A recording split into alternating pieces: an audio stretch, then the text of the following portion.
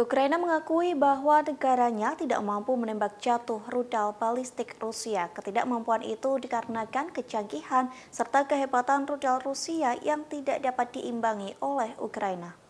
Hal tersebut disampaikan oleh juru bicara Angkatan Udara Ukraina yakni Yuri Ignat yang mengatakan ada beberapa jenis rudal Rusia yang tidak mampu dihalau, di antaranya rudal Iskandar M, S-300 dan roket Smash. Kemudian Ukraina juga tidak bisa menembak jatuh rudal hipersonik Kinsal dan KH-22.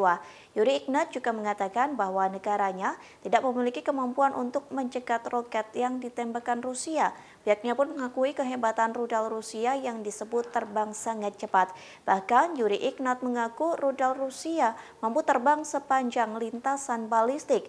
Rudal itu disebut menukik ke sasaran dengan kecepatan yang sangat tinggi. Sehingga untuk menembak jatuh rudal jenis itu, Ukraina membutuhkan rudal pertahanan udara khusus. Meski begitu, Ukraina masih memiliki kemampuan melawan rudal yang memiliki spesifikasi rendah. Hal itu dikarenakan Ukraina hanya mempunyai sistem utama yakni Bu M1 dan S300. Terima kasih sudah nonton. Jangan lupa like, subscribe, dan share ya.